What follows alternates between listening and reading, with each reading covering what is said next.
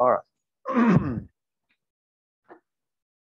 it's already hot and it's 821.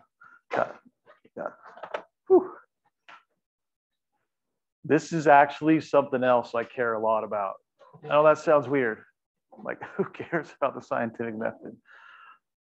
But I, I do. it's not because I'm a nerd. It's because I think it's misunderstood and been misapplied um, and abused and all that over the last two years.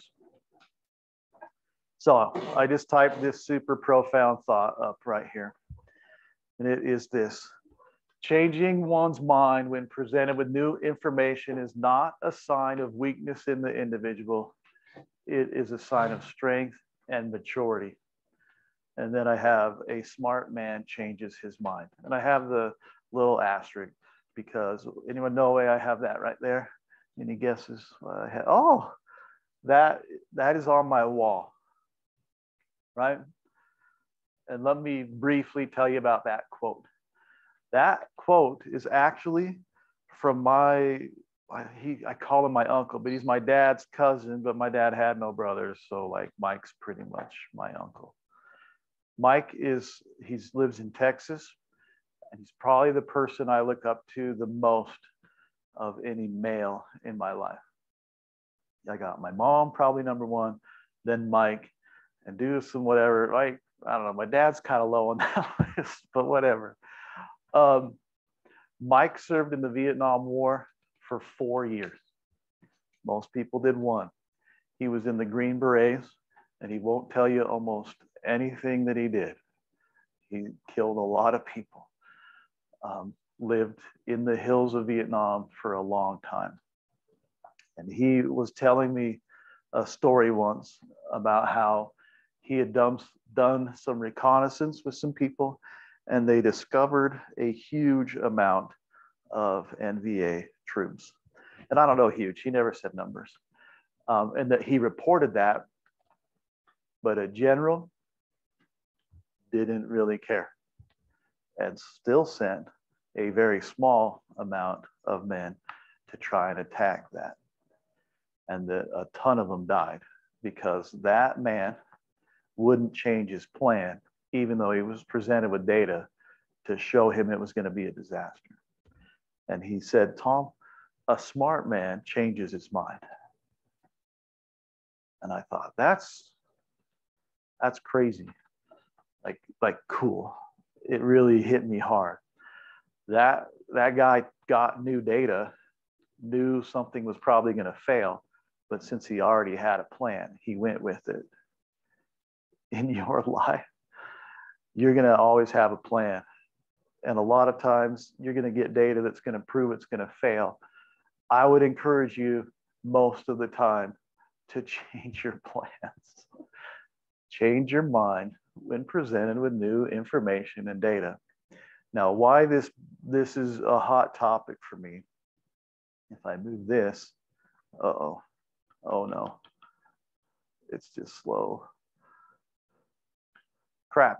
I don't know why it won't move the square. That's a rectangle. Don't at me, Cedric Monson. All right, this is where it gets controversial. I don't know why, but changing guidance. So when you get new guidance from a group of scientists in a pandemic is not a sign of weakness or distrust or stupidity or anything like that. It is the application of the scientific method. New observations lead to new knowledge and new guidance. This is a strength of the scientific method, not a weakness.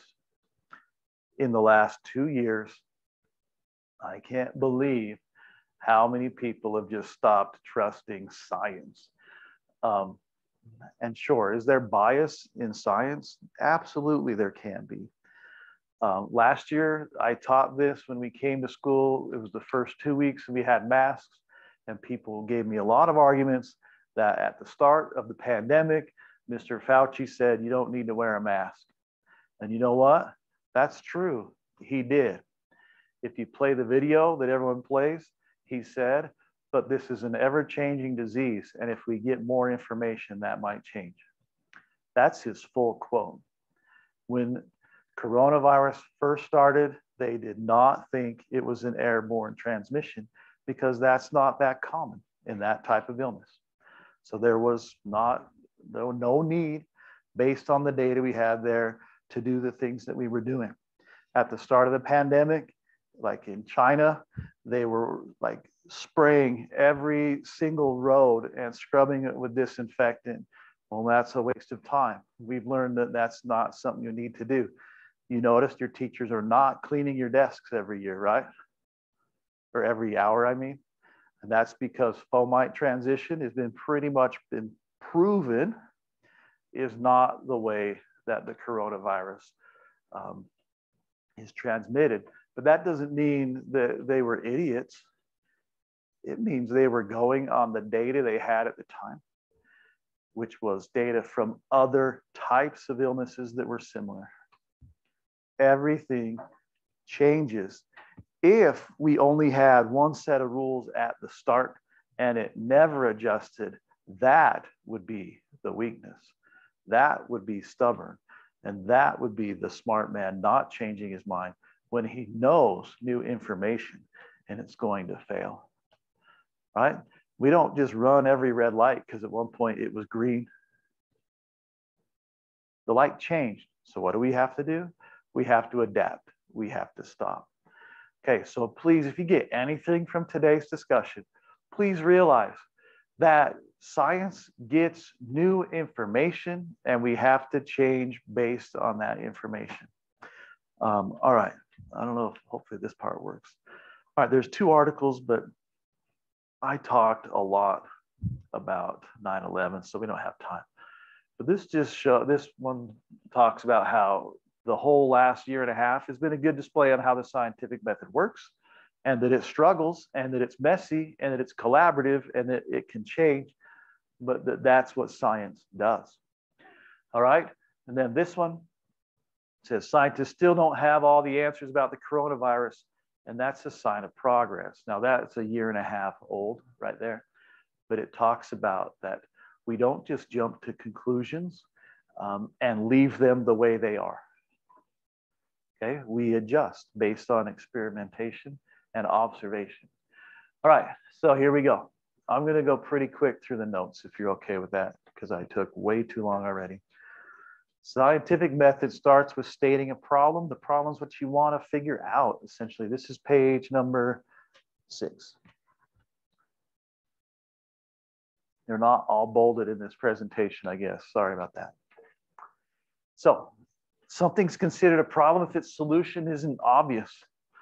So like the COVID 19 is one of the greatest examples of having a problem where the solution is not obvious. The problem is usually in science, we have problems and we have plenty of time to figure them out. And we research it, we, we review the research, we do more trials till we become very confident. And then you release, like, hey, smoking's not good for you. You shouldn't do it. And that, that took 60 years for people to really admit smoking wasn't good for you but they had a lot of data to support that hypothesis. All right. Well, the problem with COVID 19 is it, it kills people like in three weeks, not 30 years after you get lung cancer. So it demanded solutions to the problem as quick as they could get them. And people were willing to go off of any hypothesis pretty quickly. And a lot of those have been proven wrong, both that professionals recommended and non-professionals recommended. All right, so anyway, now we have a problem. We want to figure it out by finding information. Okay, so once you have a problem, then you collect information on the problem. So COVID-19 is considered a coronavirus, just like thousands of other coronaviruses. So science people started learning as much as they could about the coronavirus. Right? Most of you had never heard of the coronavirus before 2019, right? Or 2020. Well, the common cold is from the coronavirus, but we don't worry about it because that one you're sick for a couple of days, may have a fever, and you're fine.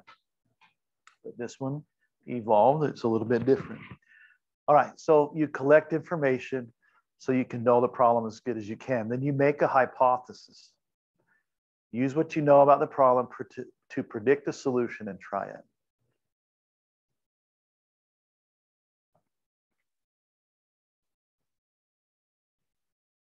Okay, now here's, here's the weakness um, of the last year and a half. People make hypotheses fast and the scientist tries it and then somehow someone tells someone and then all of a sudden you're doing crazy stuff. Like right now, um, there's a, a, trend, and I don't know how to pronounce it, but of taking uh, animal drug uh, to help you if you get the coronavirus. It's called intervectin or something like that. It's to get rid of worms in animal intestines. But some scientists in Denmark, and this is normal, they're not idiots by any means. They thought, hey, we have read that ivermectin or whatever it's called um, can have antiviral effects. So they did a study in a lab and they found out that it can kill viruses. And so that was released, and people read, hey, ivermectin can kill the coronavirus, which they proved in Denmark, but they didn't read the rest. Even the scientists in Denmark are saying no human should repeat this trial because it was like 20 times the concentration that they give a horse. We, were like a tenth the size of a horse. And the scientists are like the that did the study, like you can't do this um, and really be healthy. And so, but all someone read was the headline that said ivermectin helps treat coronavirus. Um, and now it's hard to find at a pet supply store. and it's fine. Like in the long run, maybe they will find data to support it. But as of right now, um, it's, it's mostly a poison and it makes people extremely sick.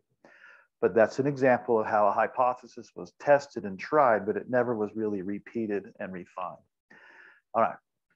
So I'm already going slower than it was, whatever. You look for patterns that help you make predictions about the problem. And that's what they did with Corona, the COVID 19. Um, they thought, hey, the other ones behaved like this most of the time they're from direct contact. They start from an animal to a human, then a human to a human. The problem with COVID 19 is we still don't 100% know how it's transmitted. It is assumed, and there's plenty of data to support the hypothesis that it is an airborne. Um, and that's what makes it tricky. The other hard part about corona is most likely, I'm not being a downer, but there's probably someone in here right now who has it and has zero idea, zero symptoms, zero anything, and never will. Um, but you're breathing it out, and someone might might get it. It's it's tricky. So if it's airborne and the carriers of it have no idea they have it, uh, that's a really good way to have an extremely infectious disease breakout. All right, make a model, a representation of what you're working with, break down the problem into smaller, simpler problems. Now, we're talking a lot, I am talking a lot about just the COVID-19, but really you you do the scientific method all the time. Like I'm gonna use Maddie's sister for an example. She's a setter in volleyball. And what, what is it called when she doesn't set, she just throws it over? Is that a dump? Okay.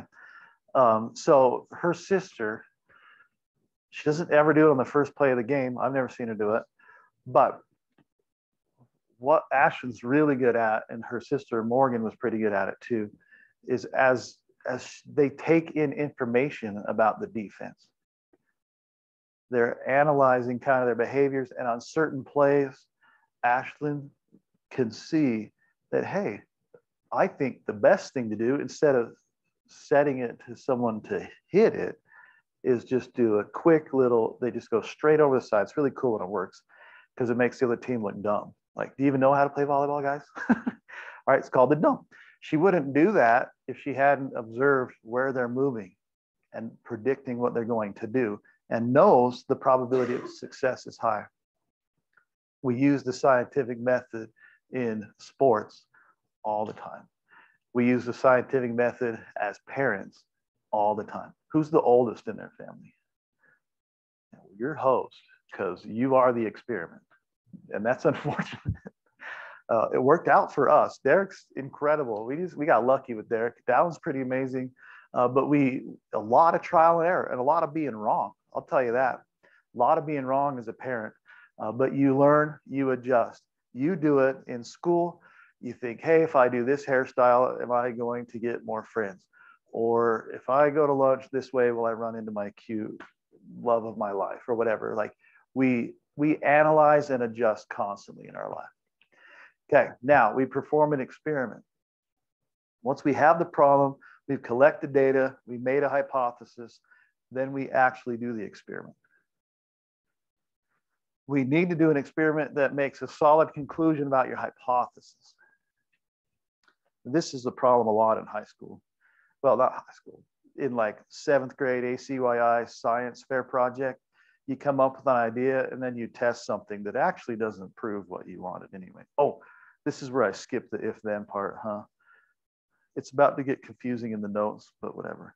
Anyway, make one that supports your ideas. Okay, next, make a conclusion.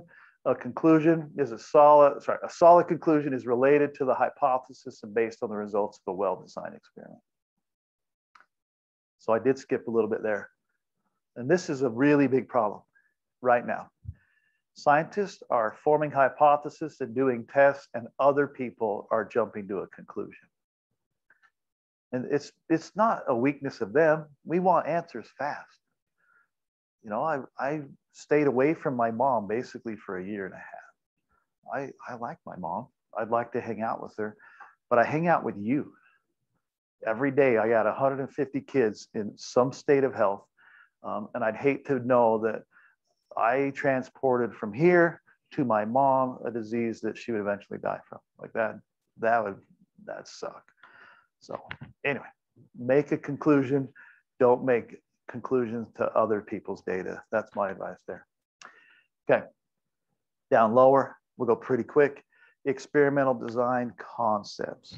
All right, what these are is if I am going to design an experiment, these are the things that if I will think of them, it will make my experiment valid.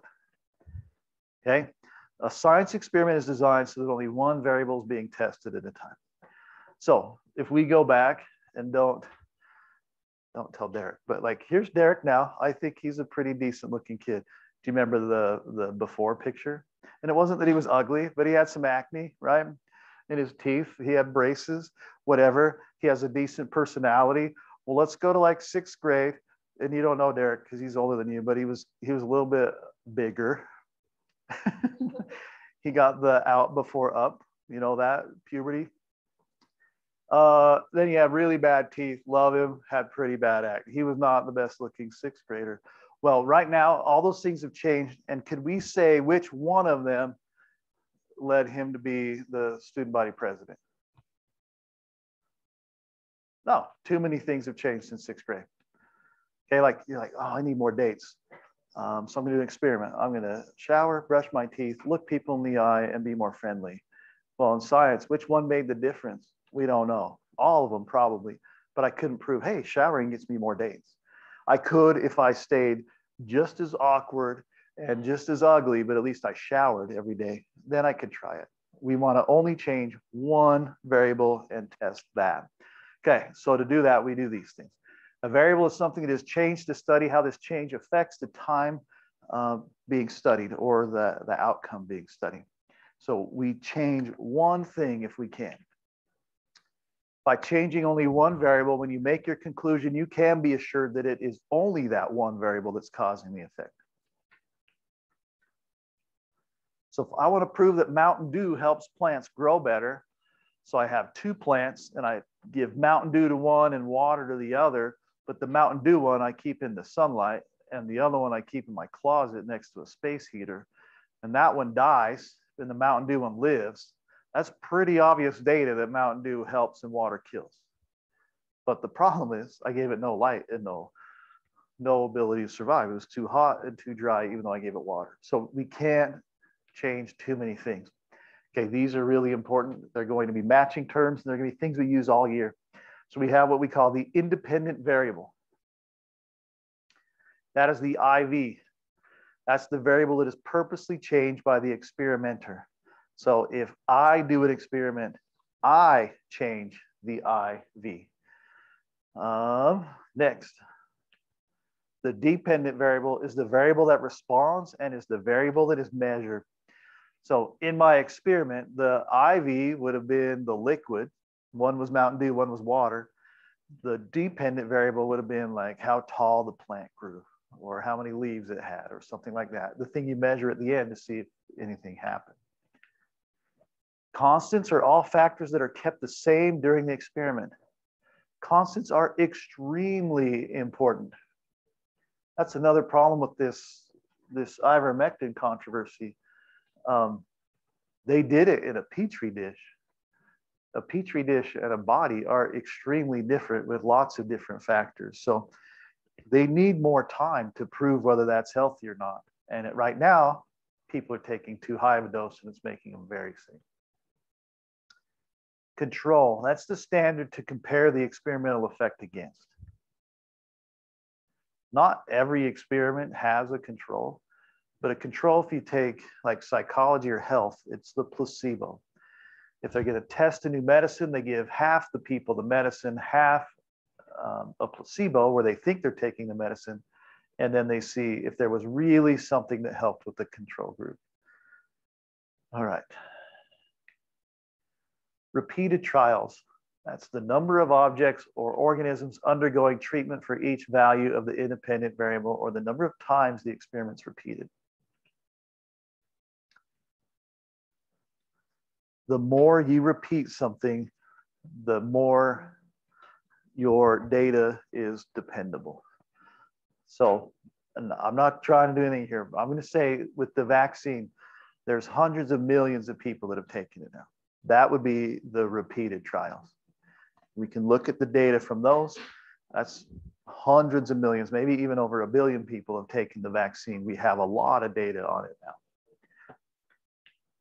Um, oh, is that really all the experimental design concepts? Okay, we'll call it good. Tomorrow, Monday, we're going to fill in these tables and do what we do. You guys are fantastic. Thanks for your respect during my conversation earlier about 9 11. If you're watching this, we had a short day.